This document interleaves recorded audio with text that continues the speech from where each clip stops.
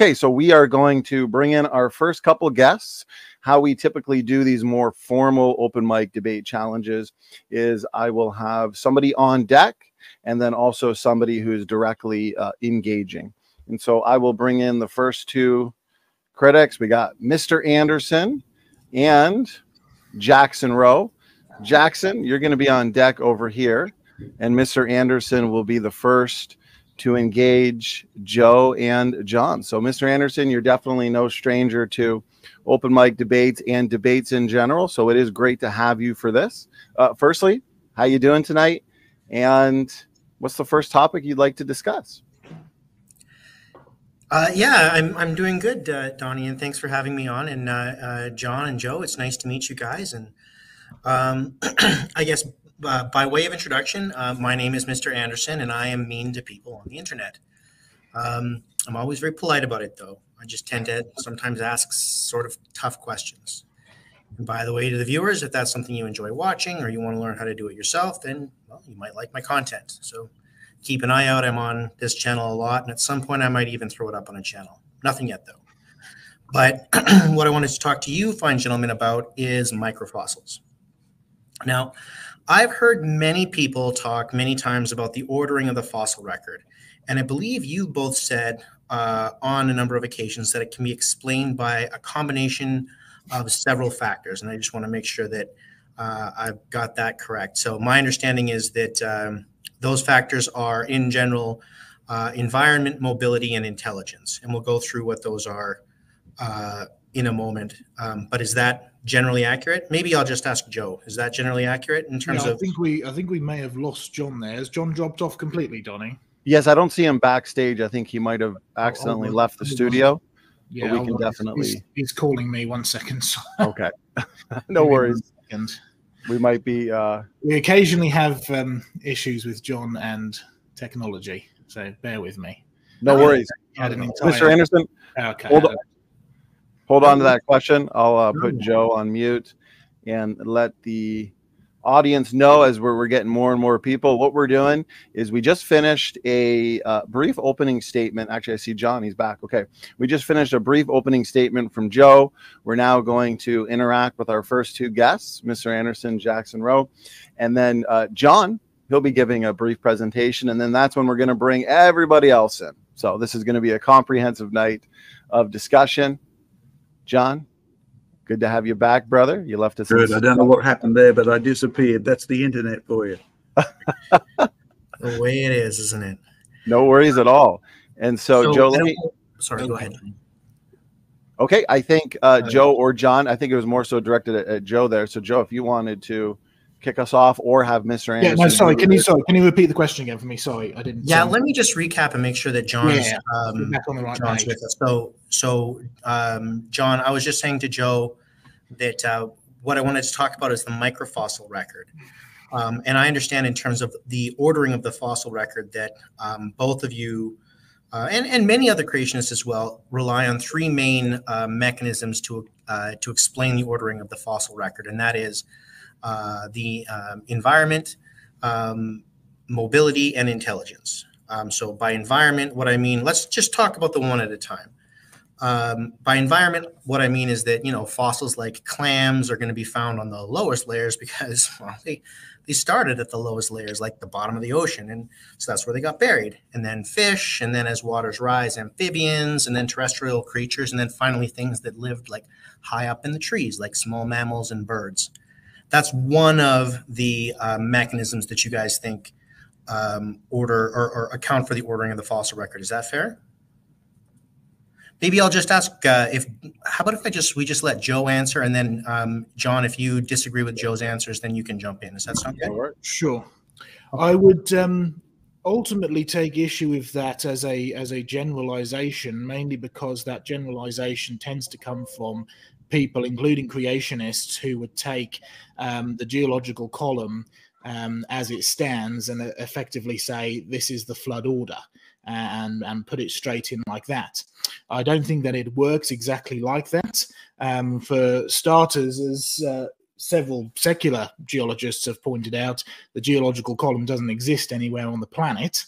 Um, when I was doing my degree in geology, they um, professor, my overseeing professor, when we went to one particular location in Norfolk, uh, where you have effectively the Cretaceous chalks, which are touching the Pleistocene glacial deposits. So you're, you're missing approximately 60 million years in there when I asked him, so how do we know where the rest of the geological column comes in?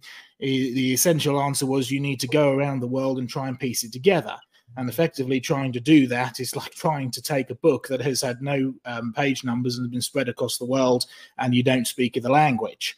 So there's a huge amount of interpretation that goes into the geological column on its own uh, before you even start to piece it together, which has been pieced together to see life on Earth over millions of years.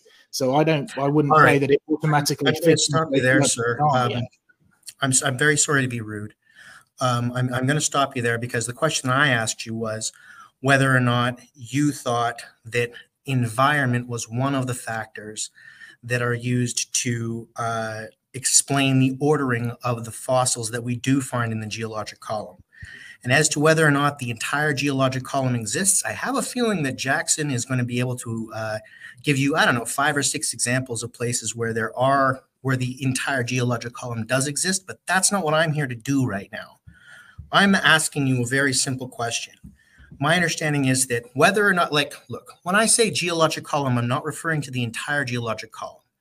Would you agree with me that there are layers of dirt as you dig into the ground? And as you dig deeper, those layers change and you find different fossils at different layers. Do you agree with that? Uh, in essence, yes. Okay. That's what I mean by the geologic column. So when I use the word geologic column, you'll now understand what I mean, right? Yeah, okay. I see where you're going. So you're coming from the idea purely of just just effectively layers. Just talking about layers. I'm saying there's an order as we dig down and consistently we're going to find certain animals buried closer to the surface than other animals. Or you know, yeah, animals. Is that is that fair? You agree with that? Mm-hmm. Okay. And one of the explanations for the order in which we find them is environment, right?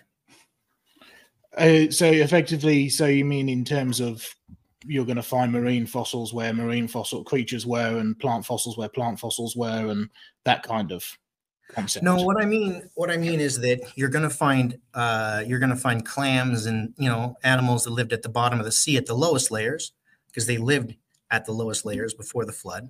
Mm-hmm. And then as you go up, you're going to find amphibians. And then as you go up further, you're going to find terrestrial creatures. And then as you go up further, you're going to find things like uh, things that lived in the trees, like birds and stuff like that.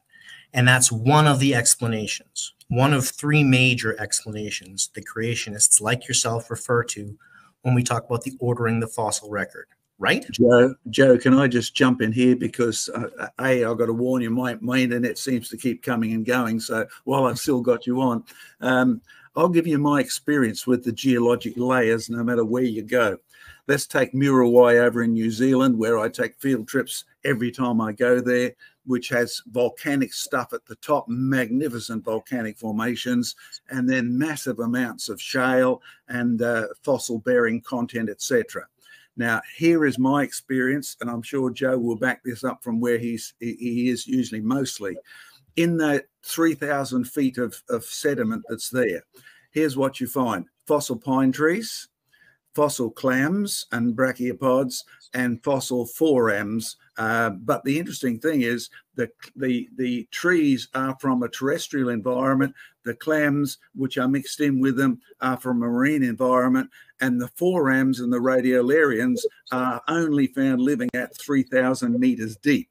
Right mm. now, we have them mixed up, and my experience is there's no such thing as saying this will only have marine fossils in it. This has terrestrial fossils. It just doesn't work like that. The real geologic strata are mixed in every case that I've been able to find them. Joe, what do you say about that? Yeah, and that's the that's the point I was trying to make. You you have this picture of your sea life kind of creatures, complex, uh, simple to complex type creatures from the bottom layers going up. And oftentimes you'll find um, even even sometimes creation geologists effectively saying, "Oh, these are environments. This has been buried down below in the sea. This has been buried further up." But your entire geological column, as a complete unit, is turned upside down in the sense that you don't have mix, uh, environments that are solely purely one environment or the other you can find dinosaur stuff buried right next to fossil fish. So you have a mixed environment throughout the geological record. Okay, so what you guys are telling me is that there is no ordering to the fossil record. That it is not the case, and it is not fair to say that you're going to find one type of creature at one layer, and that if you go up a little bit or down a little bit, that the types of creatures that you're going to find change. I think that, I think that if there is going to be any uh, ordering in the fossil record, it will have less to do with environment and more to do with a the type of sediment that is able to preserve the creatures and or plants. For mm-hmm. instance, uh, coal seems to be uh, or uh, one of the requirements for coal formation uh, seems to be the presence of clay. If there is mm-hmm. no clay, there's no presence of coal. So that means if even if you have trees being buried where there's no coal pre- uh, clay presence, you're not going to get coal. Um, likewise, if you study the way that water works, particularly when it's flowing, uh, different um, uh, different speeds of water. Uh, water already has layers in it. You have different currents, different layers of water, which is going to carry different types of fossils and therefore bury different types of fossils. So, so the only sorry, I'm not sure I understand you. I understand your first point. I'm not sure I understand your second point. So, what are you telling me with respect to uh, water? You're saying that that water changes in the way that water flows Water uh, so already has water already has. It's gonna, it's gonna, you know, where there there are different ways that sediment forms depending on the water flow. So like you can tell whether something's a fluvian or a Leucocean or a, uh, an ocean environment based on whether or not it forms, you know, this type of ripple or that type of ripple. Is that what you're telling me? Is that no, that's the, no, the ways that you tell what kind of fossils it is? Not no, not that type of fossils it is, but the type of fossils that are likely to be preserved is going to be dependent on the type of sediment that they're being buried in the type, of, the type of sediment part. What's the, the second one you said? Type of let me say the type of sediment that is being transported in water depends on things like the speed of water, the way mm-hmm. that the mm-hmm. water is traveling, the volume of water that is in that particular current. So when mm-hmm. you look at the Jurassic sediments in northern Queensland, and John can comment mm-hmm. on this, you are dealing with a predominant sandstone. Uh, so the trees that are buried inside not only are a massive logjam that cover uh, almost a third of Australia, but they are actually buried in preserved in silica next to boulders. Mm-hmm. So mm-hmm. no coal to be found there. So right. the only ordering I would say would be uh, that you can see is based more on the way that it's been deposited rather than an environment or indeed a, a, a sequence of life on Earth. Joe, okay, so you don't agree then? Just just a second, John, because I want to nail this down with Joe.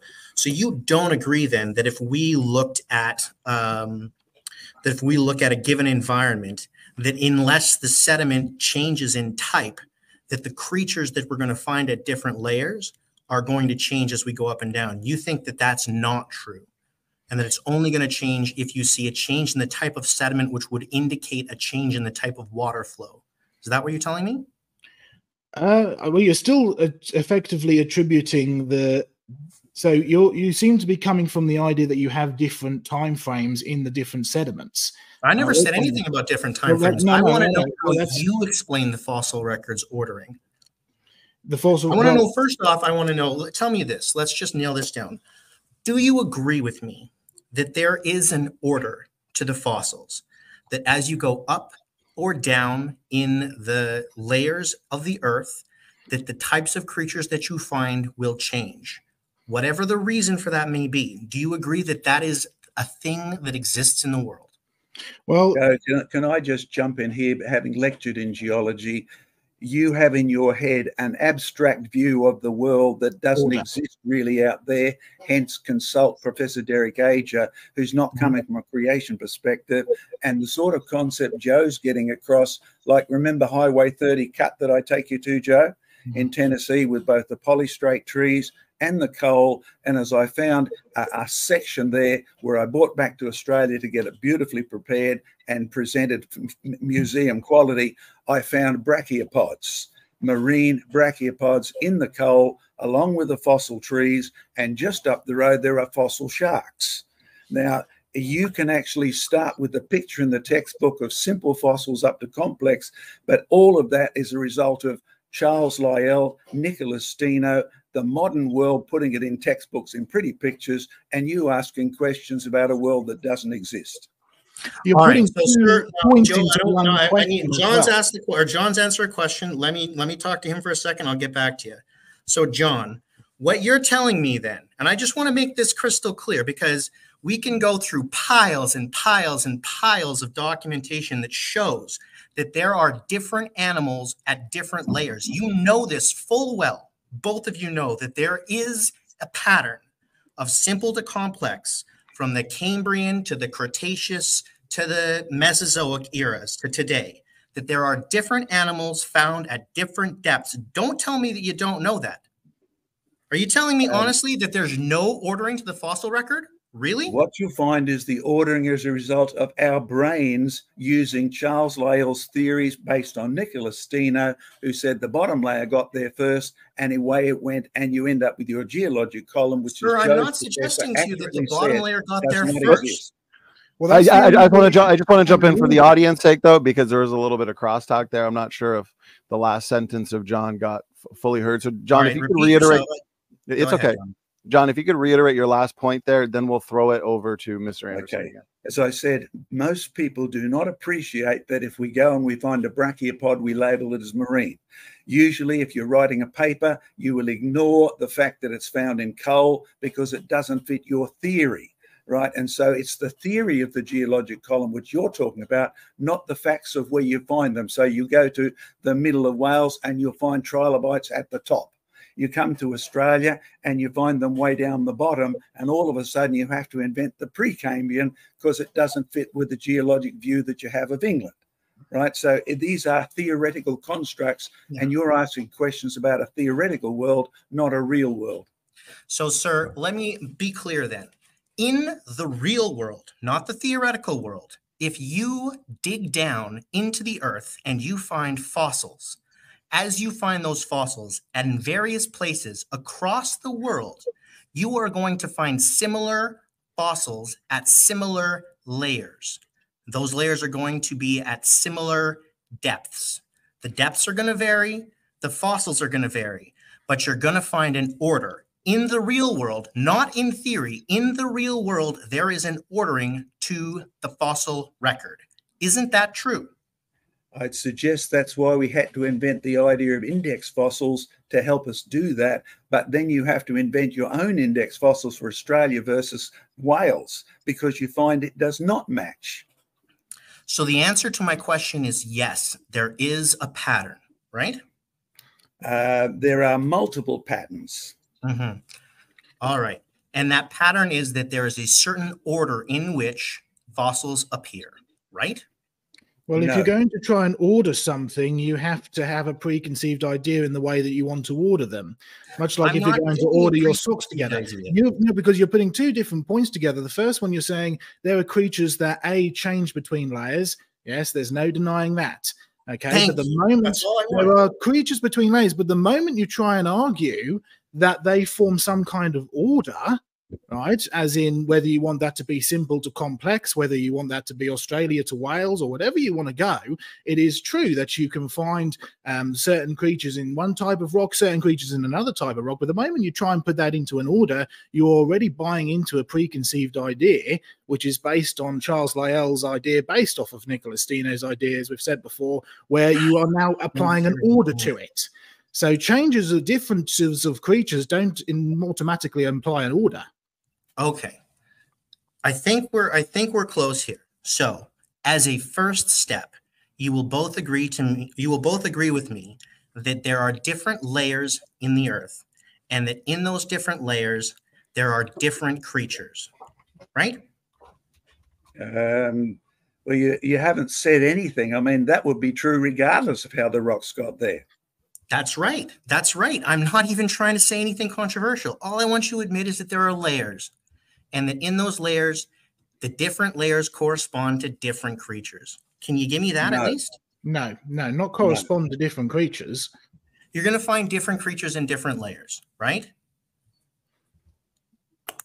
go ahead with the point you're trying to make, that. Because that's the, the point I'm trying to make is there are different creatures in different layers, and I want you to agree to that so that we can move forward. Otherwise, we're going to go around here again. Um, like you guys are trying to deny that. Like I, am I'm, I'm flabbergasted. Honestly, this isn't the, the the fight that I expected to have with you. I'm flabbergasted at the notion that you guys would suggest that the that the uh, morphology of the fossils that you find as you move up and down the geologic column do not change. Well, Whether you guys, I'm sure you have many explanations for it. Many of the, many of the fossils, the morphology doesn't change. Pardon? You can find many of them the fossils, the morphology doesn't change. You can sure. find stromatolites that are supposedly 3.7 billion years old, and you find them living off the coast of Australia today. And all okay. up and down to the geological column, they don't change. Right. Same so with some of them, it doesn't change. Clams, right? Same with, you can go on. Sure. For some of them, it doesn't change. And for some of them, it does, right?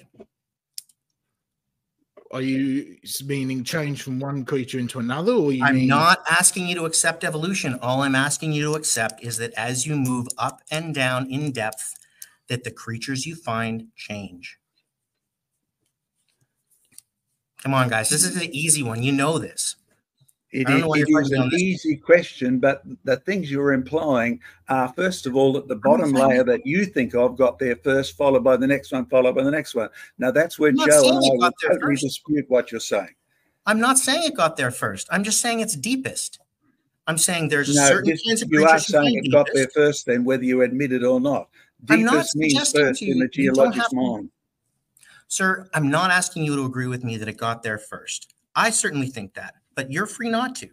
All I want us to agree is that there's that you're going to find things like clams, for example, at the deepest layers. You're going to find you find them at the uh, topmost you know, layers as well.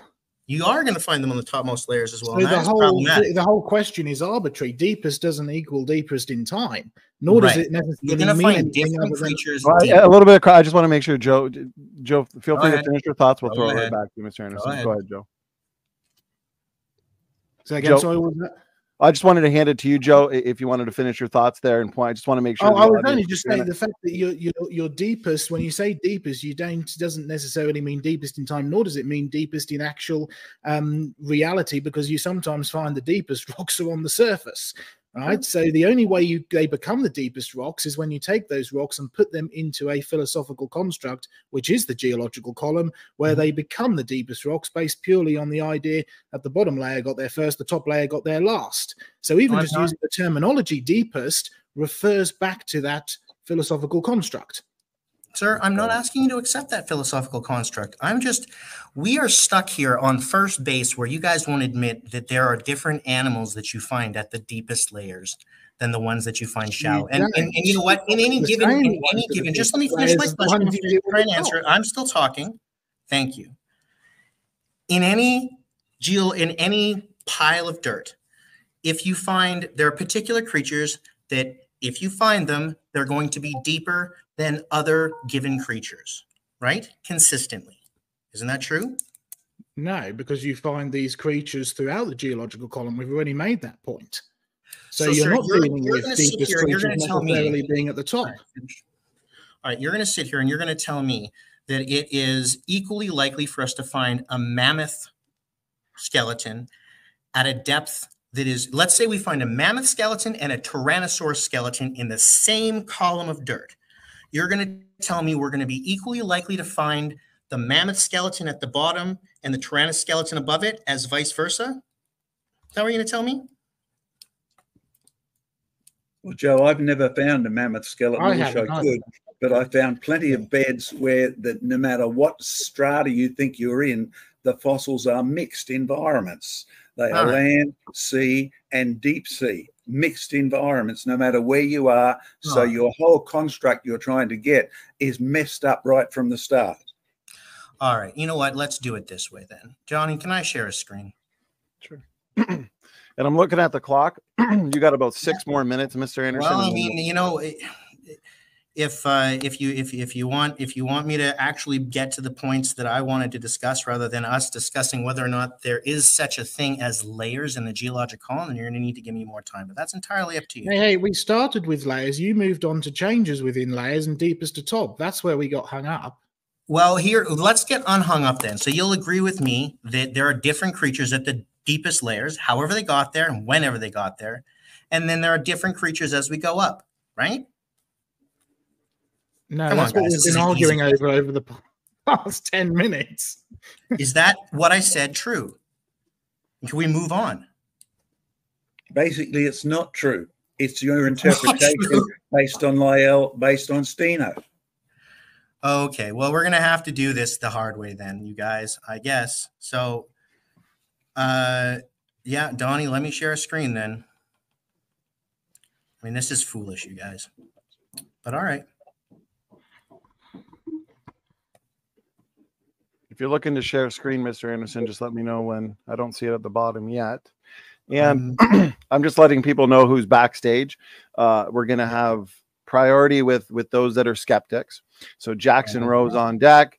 Then we're going to be throwing it back to John for a short presentation, and then I've got uh, a, a, few others backstage. So uh, Anderson, I do see it now. All right, go on. ahead. So you guys, you'll agree with me that whenever we find one of any of these creatures in the same level of dirt as in the same column of dirt as any one of the other creatures in this list that the ones on the bottom of this list are going to be the ones you find deeper in the dirt. Can, can you blow that picture up at all any bigger? I don't I'm know. struggling to see it on my screen. Maybe zoom in if you can, um, but if oh, there that's we better. go. That's it. That's better. better. Yeah, yeah. Okay. You so you got yeah. Right. So these yeah. Right, guys. Wikipedia index fossils. Yeah. Okay. Okay. So what I said is true, isn't it? So what were you saying? That the bottom layers. I'm saying that if you look and you dig a hole in the dirt, you find any two of these creatures, that those two creatures are going to appear in this order. Right? 99.99 times out of 100. Right? Um, let, let me comment on where I am sitting right now. I'm sitting on top of metamorphic rock, uh, which is regarded as uh, Carboniferous, Silurian, Ordovician, depending on which book you read. And uh, it's intruded by granite about 30 kilometers away which uh-huh. is the same age as the volcanic tuff right alongside of it and sitting on it by the Sir, I'm going to stop you right there because you're not going to find any fossils in either of those kinds of rock. One is metamorphic and one is igneous. You find fossils in sedimentary rock, so I appreciate an answer to my question. Well, you're actually you wrong. An animal, oh, I, am going to, I'm going to, Mr. I just want to make sure John can finish his thoughts. John, we'll throw it back to you. Go ahead. You're absolutely wrong because depends on the grade of metamorphism. Because I dig up trilobites out of the metamorphic Silurian, uh, and they're still preserved. The metamorphic rock contains graptolites and all sorts of things where I am. But you'll find when you go up a bit further, you find the coal sitting on top of it, regarded as uh, Triassic. And then all of a sudden, you're at the surface of the ground. Uh, yeah. We're here. Now, Sir, that's really normal, normal stuff that you find unless you do what you do and believe in that diagram, which is not the real world. So, sir, have you? So, sir, are you really that afraid of this simple admission that these fossils, if you find any two of them in the same hole, that they're going to appear in this order? I, You've run from that question. You've refused to answer it four times now. They do in your diagram, but in the real world, you find sediments mixed with uh, trees and, and, and deep sea creatures and, and clams all together. So your yeah, diagram is too oversimplified. It's very interesting. It doesn't answer the very simple question I asked you. I'll ask you again. If you were to dig a hole and you were to find any two of the creatures on this list, they're going to appear in the order you see on this list, right? No. Really? That's that's an interpretation. It's not a reality. Okay. So you don't believe that there is any order to the fossil record then? That order is an interpretation based on already existing concepts of how the That's interesting, sir. It's still not responsive to my question. I asked you a simple question. Do you believe that there is an ordering to the fossil record? Yes, but not your order. Oh, not my order. So you don't believe that this order that I'm showing you on this screen, you don't believe that this order is an order that you're going to see in the ground? No. Well, you're not much of. It you're not, I, I, I, don't know why we should we should we should listen to anything you say when you're not even uh, uh, able to admit uh, like these are basic facts. So I, will ask Joe then. Maybe Joe, you'll give me a more responsive answer or a more useful answer. Sir, uh, can you tell me whether or not you're going to find an order to the fossil record? not that order. We're going not around in order. circles here because if you dig a hole and you find a fossil which matches a fossil another place, your automatic assumption is that it is going to be of A, the same layer, B, the same period in time. So you're instantly putting it into a system which is based on time. So your order is based on time in the first place. All right, let's try this one more time, sir. Let's say, let's give a particular example. Donny, can you put that back up on the screen again? Sir, if I find, uh, for example, I find a pecten gibbus in a hole, and then I keep digging, right? And I dig down and down and down, and then I find Paradoxides pinus, mm-hmm. right? I'm gonna find. I'm not. I'm not gonna be digging in. 99.999 times out of 100. When I dig that hole, I'm gonna find the pecten gibbus first, and then I'm gonna find the paradox uh, Paradoxides pinus, right? Not necessarily. Depends where you're digging. Mm-hmm. Sometimes you'll 99, find 99 times out of 100. Right, hey, hey, Mr. A little bit of, I, want to make sure Joe can, can finish his points. I'm going to hand sir, it to you, Joe. Feel free yeah, to address sir, nine, sir, 99 times out of 100, you're going to find the pecten gibbus first and then the Paradoxides pinus, right? Okay, no. over to you, Joe. No, because you can start digging the hole and find the pecten, and then you can find Precambrian rocks, and you've got no fossils at all. Other times you don't find any of the pecten and you go down and you find the paradoxy. So the only way you're going to actually piece them together is if you assume that the so-called, as you've said many times, deepest fossils got there first based off of an interpretation that is based on time and simply then piece them together. So, sir, you're telling me that I'm not going to consistently find the order of index fossils, which is, a, I mean, like you understand that that this is an extremely well documented ph- uh, uh, phenomenon, right? And can I make a comment? You no, sir. I don't think. So. I, am going to jump in, Mr. Anderson. Please, I want you to respect the guest. He wants to make a mm-hmm. comment. We're at 30 minutes, anyways. Yeah, I, we have to move on, Mr. Anderson. I gave you 30 right. You know minutes. what? Let, us let me, let me have let me have one more turnaround on this, then. Okay. Okay, but so I want to respect. Let me, share, let me Mr. Anderson, please stop interrupting the, the moderator. Okay, I'm trying to moderate here. I'm trying to keep things organized. John wanted to say something. John, go okay. ahead, my brother. My, my final comment is the best evidence you've shown today is that you've never dug a hole, found an order of fossils, or been to a conference on where strata boundaries are, and so you're ignorant rather than knowledgeable. You're well mm-hmm. presented, but ignorant. Mm-hmm. Thank you, okay, sir. Mr. Anderson. All right, one more time then. You all get right. one more, one more point, one more question. We got to move on because we're not going to be here all night. We got about seven guests. Go ahead. I appreciate it. All right. So, sir, here's a diagram from a paper of somebody who has actually dug a hole, who is actually educated, who does actually know what they're talking about. And here are a whole bunch of different fossils. And there's an order. You can see here what says range is a stratigraphically important foraminifera. You see that? Sir, you see that? Are you talking to Joe or me? Or both of us? I'm just I'm trying to talk to you, John. I'm just trying to blow yeah, that's fine. I see I see the diagrams. I had them all through my geology course. Okay, lovely. So you'll agree with me that uh, you, I, I, presume you take no issue with the notion that the person who wrote this article, which is published in a journal uh, called, uh, I can't even find it uh, which is published in a journal called Geological Quarterly. That's a respected scientific journal, isn't it? It's okay. Yeah, that's fine. But you missed the point. You see, no, sir. I'm going to be the one making. Okay, no, I'm, I'm, I'm, jumping in. Okay, Mr. Anderson, you had 32 minutes. You're interrupting John after he's been sitting patiently waiting. We're going to give John the last word. We got to move to the next guest. So, Mr. Anderson, I appreciate it. John, over to you. You get the last word on. Okay. Uh, Again, I have to make one very important point. The guy who did that, bless his heart for digging holes, bless his heart for mapping forams, but he believes already in the geologic column, which is based on the concept that the rocks change content all up and down. That's probably the best place to finish this. So um, over to your next guest, uh, Donny. Okay, well, thank you very much, uh, John Mackay, for that final word there. Mr. Anderson, I appreciate the back and forth engagement for 32 minutes. That was good, fast paced, and uh, very engaging. So with that, we are going to uh, now move on.